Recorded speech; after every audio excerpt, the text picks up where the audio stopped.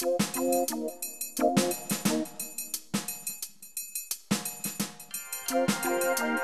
you.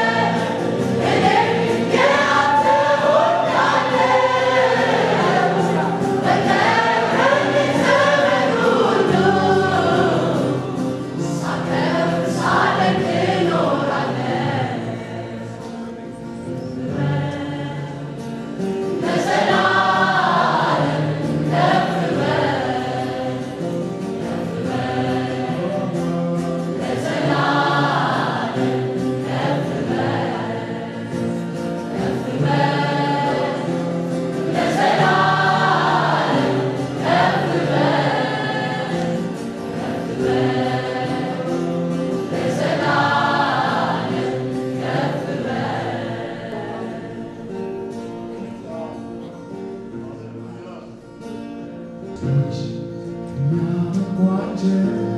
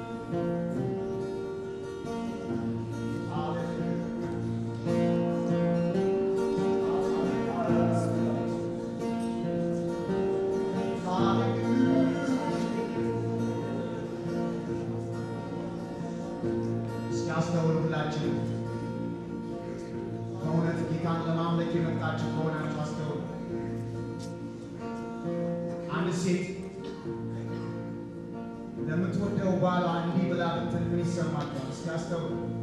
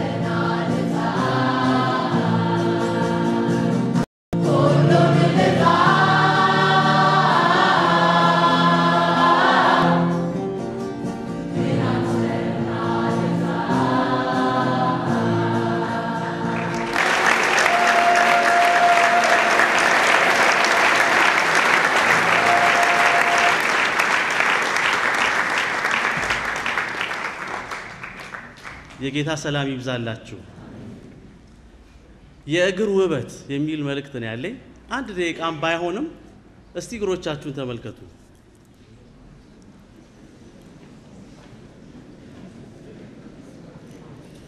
በቃ ይበቃል። ዛሬ ዛሬ መቼስ ስለ እግር መሰራት ብዙ ነገር እንሰማለን አይደለም? የዛሬ 20 ዓመት 30 ዓመት እግሬን ልሰራ ሄዳለሁ ያለ እንደሆነ አንድ ሰው ወይም አንዲት እህት እግሯ መሰበር አለበት ብሎ ነው አንዳንድ ሰዎች የሚያስቡት። ዛሬ ግን እግሬን ልሰራ ነው የሚሄደው ብሎ ቢነግሩኝ አይገርመኝም። ምክንያቱም እግር እንደሚሰራ እያየን ነው አይደለም? በተለይ ሙሽሮች ሊያገቡ አንድ ቀን ሁለት ቀን ሲቀራቸው እግሬን እሰራለሁ ይላሉ። የሚሰራ ነገር አለ። ደግሞም አንዳንድ ቤቶች እግርም እንሰራለን ብሎ ይለጥፋሉ። እንግዲህ እግር አይሰሩም፣ ግን የሚሰሩትን ነገር እናውቃለን። ሎሚውን ምኑን ያስተካክሉታል፣ ግን ምን እንደሚሰራ አላውቅም። ኤኒዌይ ወንድሞችም እንደው ክፍት ጫማ እናረግም እንጂ ሳንሰራ አንቀርም ነበር፣ እንሰራለን። ግን ባንሰራም በጫማዎቻችን አንዳንድ ጊዜ የእግራችንን ውበት መጠበቅ እንፈልጋለን። አንድ ወንድሜ ጓደኛዬ ነው። ይሄ ጫማ ቀልድ እንዳይመስል አለኝ አንድ ቀን። ሺ ከምናምን የተገዛው ትንሽ ጨምረበት መኪና ለምን አልገዛም አልኩት። መኪና እስከመገዛ ድረስ በዚህ አካክሳለሁ አለኝ። እንደዚህ ነው።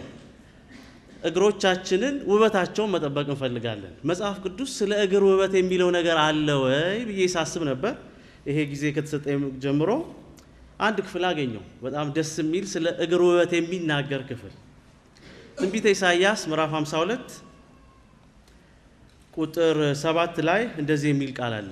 የምስራች የሚናገር ሰላምንም የሚያወራ የመልካምን ወሬ የምስራች የሚናገር መድኃኒትንም የሚያወራ ጽዮንም አምላክሽ ነግሷል የሚል ሰው እግሩ በተራሮች ላይ እጅግ ያማረ ነው። ለካ መጽሐፍ ቅዱስም ስለ እግር ውበት ይናገራል። ግን እኛ የምናውቀውን የእግር ውበት ሳይሆን የራሱ የእግር ውበት መለኪያዎች አሉት። ምን እንደሆኑ ቶሎ ቶሎ እንመለከታለን። አጭር ጸሎት እናድርግ፣ እንጸልይ።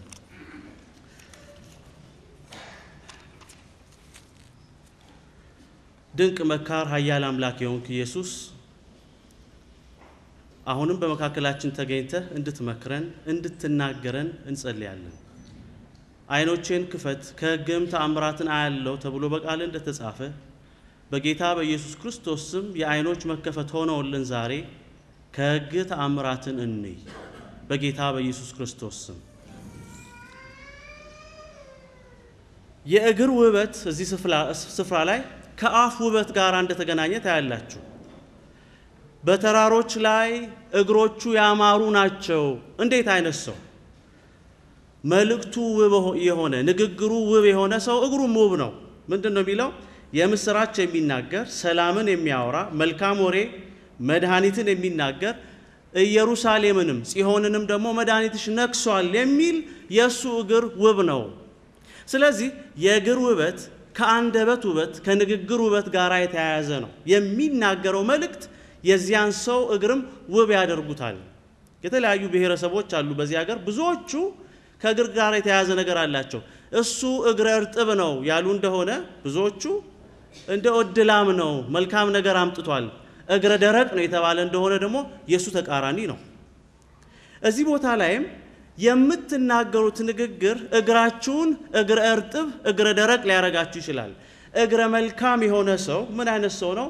የሚናገረው መልእክት እነርሱም የምስራችን የሚናገር እኔ አንድ ላይ ሳጠቃልላቸው ስለ መድኃኒት፣ ስለ መልካም ወሬ ጉድ ኒውስ፣ ሰላምን የሚያወራ የምስራች የሚናገር እነዚህ መልእክቶች አንድ ላይ ተጠቃልሉ እንደሆነ ስለ ጌታ የሚናገር በመጨረሻ ላይ እንደውም ያጠቃለዋል አምላክሽ ነግሷል የሚል ይላል።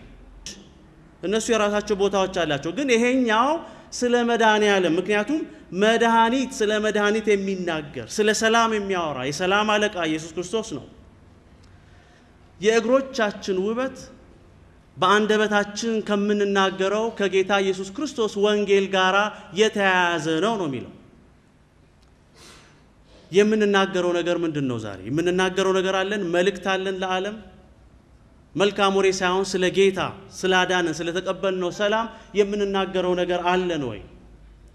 መልእክት አጥቶ ሰላምና እረፍት አጥቶ ላለው ዓለም የምንናገረው የሰላም የእረፍት መልእክት አለን? ዓለም በብዙ አይነት ምክሮች ውስጥ ተይዟል። ብዙ ሰዎች ብዙ ነገሮችን ያነባሉ ለሕይወታቸው ሰላምን ለማግኘት ብለው። ሶስቱ የሕይወት ትርጉም የማግኛ መንገዶች፣ ሰባቱ እንደዚዎች እንደዚህ እንደዚህ አይነት ምክሮች የሚባሉ የስነ ልቦና የስነ አእምሮ ምክሮች አሉ በዓለም ላይ።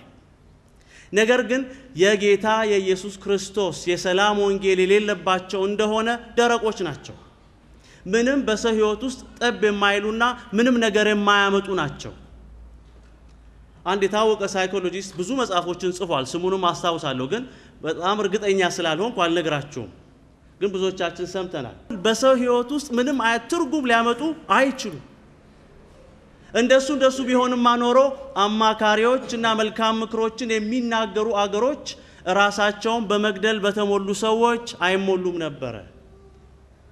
ምክሮቹ በበዙ ቁጥር ሰዎች በሕይወታቸው ትርጉም የማጣታቸው ነገር እየበዛ ሄዷል። ባለፈው ሳምንት አንድ ቦታ እንደተናገርኩት እናንተም ደግሞ እንደሰማችሁት የ23 ዓመት አካባቢ የሚሆነው ወጣት በቨርጂኒያ ቴክ ዩኒቨርሲቲ ውስጥ እነዛ ወጣቶች ሁሉ የገደለ ሰው የተናገረው ነገር ትልቅ ነገር ሊያስተምረን ይገባል።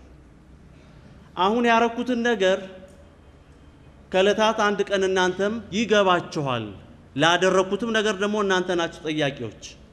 ከሀገሬ እዚህ መጥቻለሁ እናንተ መካከል ግን ለሕይወቴ ምንም አይነት ትርጉም አልሰጣችሁኝም። የእናንተ መኪኖች፣ የእናንተ ሕይወት፣ የእናንተ ኑሮ ለእኔ ምንም ትርጉም መልስ አልሰጠኝም ነው ያለው። ስለዚህ ላረኩት ነገር ተጠያቂ ናችሁ።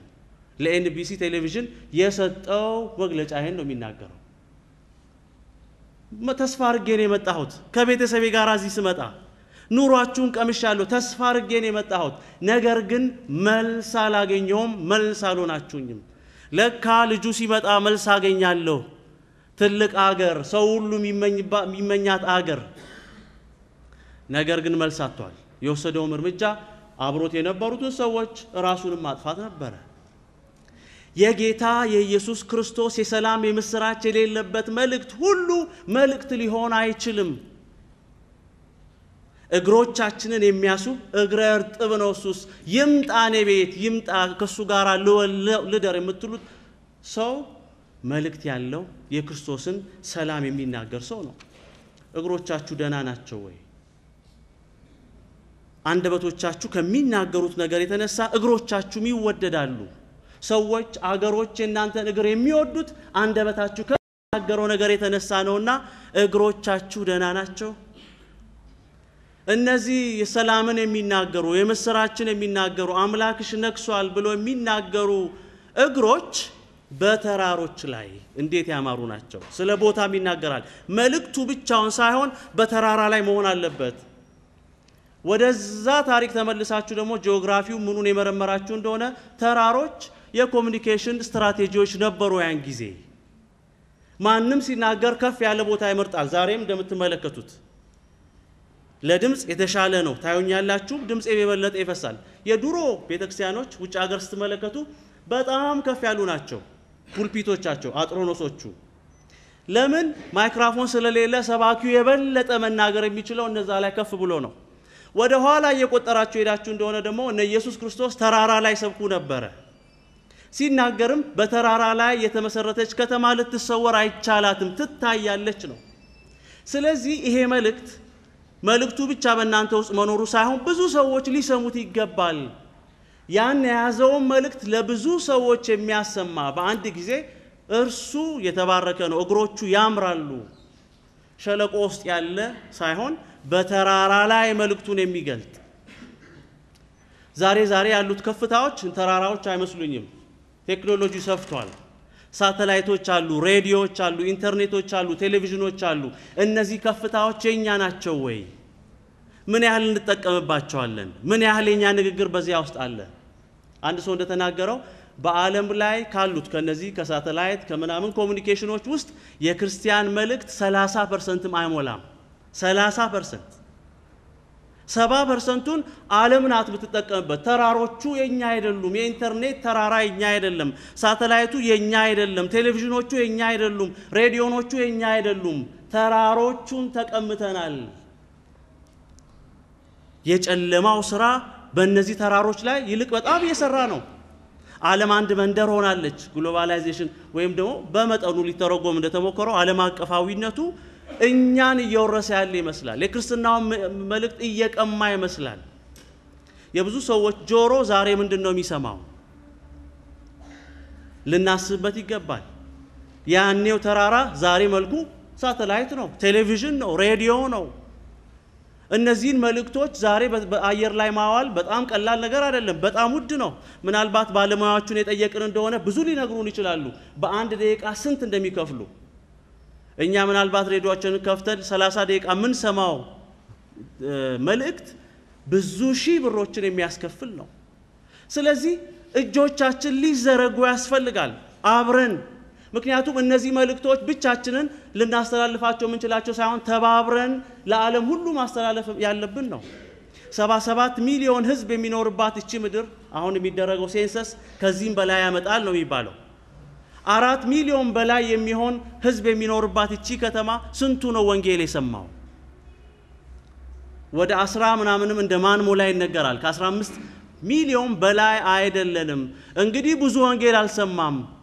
ስለዚህ የግድ በህብረት ከፍ ብለን ተራራ ላይ ወጥተን ድምፃችንን ማሰማት አለብን። በየግል መሬት ላይ ከምናደርገው ሌላ እጆቻችንን አስተባብረን ተራራ ላይ ወጥተን የምስራቹን ማውራት አለብን። ተራሮቹን ሪክሌም ማድረግ መቻል አለብን። መልሰን መያዝ አለብን። ለዚህ ደግሞ የእያንዳንዳችን አስተዋጽኦ አለ።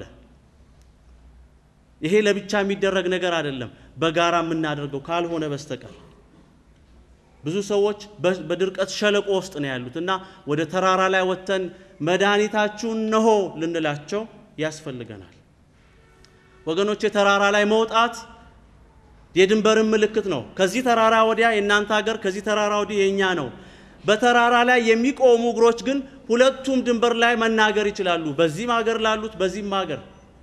ስለዚህ በተራራ ላይ ያሉ እግሮች ሲል ለኔ ድንበርም የሌለው የፖለቲካ ድንበር፣ የኢኮኖሚ ድንበር፣ የባህል ድንበር የሌለበት ያን ሁሉ የሚያልፍ ማለት ነው። እነዚያ እግሮች ውብ ናቸው። boundary ን አልፈው ድንበርን አልፈው ወሰንን አልፈው መናገር የሚችሉ እግሮች። ብዙ አይነት ድንበሮች ደግሞ አሉ። የጦር ካምፖች ራሳቸውን ከልሎ የተቀመጡ ናቸው፣ የማይደረስባቸው በእኛ ሀገር ትምህርት ቤቶች፣ ዩኒቨርሲቲዎች የማንገባባቸው ቦታዎች ናቸው። ወንጌልን ይዘን publicly የምንሰብክባቸው ቦታዎች አይደሉም። ሆስፒታሎች ወንጌልን በቀጥታ የምንሰብክባቸው ቦታዎች አሉ። ሄደን እግዚአብሔር ይማርክ ከማለት ያለፈ ነገር ማድረግ ብዙም አንችልም። እነዚህ ቦታዎች እንዴት ነው የሚደረሱት? በህብረት አሁንም እነዚህን ተራሮች በመጠቀም ነው ወገኖቼ። ባለፈው ዓመት ሳሙኤል ኮቢያ ቄስ ዶክተር ሳሙኤል ኮቢያ የሚባሉ ሰው እዚህ ሀገር ነበሩና በአንድ ቦታ ላይ ሲናገሩ የዓለም አብያተ ክርስቲያናት ዋና ጸሐፊ ናቸው። ምንድን ያሉት? ወጣት ሆኜ ያለው ኬንያዊ ናቸው። ከናንተ አገር የሚተላለፍ ሬዲዮ ፕሮግራም እሰማ ነበር። ዛሬ ላለሁበት ህይወት ትልቅ አስተዋጽኦ ያደረገልኝ ይሄ ነው ብሎ ተናገሩ። ያ ሬዲዮ አለ ወይ በሰው ኃይል የሚተላለፈው? ዝም ምን ያልነው ሁላችን ምናልባት ይተላለፍ አይተላለፍ እንደሆነ ስለማላቅ ዛሬ በዓለም አቀፍ ደረጃ ከፍተኛ አመራር ላይ ያሉ ሰው ናቸው። እኚህ ሰው የዓለም አብያተ ክርስቲያናት ዋና ጸሐፊ፣ በወጣትነት ለነበረኝ ህይወት አስተዋጽኦ ያደረገው ይሄ ሬዲዮ ነው ብለዋል። የኔ የራሴ ጓደኛ አለኝ ወንጌላዊ የሆነ መጀመሪያ ወደ ጌታ እንዴት ነው የመጣኸው ስል ወደ ጌታ ቤት እንድመጣ የረዳኝ መጀመሪያ የሰማሁት መዝሙር ነው ብሎ ነገረኝ በሬዲዮ። ተማሪ ሆኜ እያለሁ አንደኛ ዓመት ተማሪ ከዚህ አይደለም ባህር ዳር ነበርኩና ሬዲዮ ነበር የኛ ቤተ ክርስቲያን። ሰብሰብ ብለን አባይ ዳር የሚባል ቦታ አለ፣ ሄደን እንሰማለን። ተጽናንተን ከሌሎቹ ክርስቲያኖች ጋር ልክ አንድ ላይ እንደተቀመጥን ሆነን ተሰምቶን ነው የምንመለሰው። ከአስራ ምናምን ዓመት በፊት ነው። ወገኖች መደገፍ አብረን ተባብረን እነዚህን አይነቱን የወንጌል የምስራች በእነዚህ ተራሮች ላይ ሆነን መስበክ ይጠበቅብናል። ቅድም የአምልኮ መሪው እንዳለ ምናልባት እንግዲህ እንደ ክርስቶስ ሙሽሮች እግሮቻችንን መሰራት አለብን። እኛም ለክርስቶስ የምንዘጋጅ ሙሽሮች ነን። ቤተ ክርስቲያን ሙሽሪት ናት። ስለዚህ እንሂድ፣ እግሮቻችንንም እንሰራ። የወንጌልን ቃል በመታጠቅ አብረንም በተራራ ላይ መድኃኒትሽ ነግሷል፣ እነሆ ሰላምሽ ብለን እንናገር። በዚህ ስራም ደግሞ የተባበሩትን ወይም ያሉትን እንደግፍ። እግዚአብሔር ጸጋውን ያብዛለን። እንጸልይ።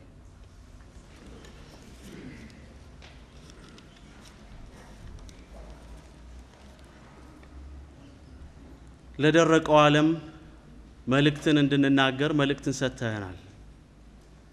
መልእክታችንን ለራሳችን ይዘን ቁጭ የምንል ስግብግቦች እንዳንሆን ፍርሃታችንን ሰብረህ ጌታ ሆይ እግሮቻችንን ፈተህ በተራሮች ላይ ቆመን እነሆ መድኃኒትሽ፣ ሰላምሽ፣ እረፍትሽ ብለን ለዓለም እንድንናገር በሰይጣን እስራት በግዞት ሸለቆ ያሉትን ወገኖቻችንን እንድንታደግ በኢየሱስ ክርስቶስ ስም ማስተዋልን ስጠን።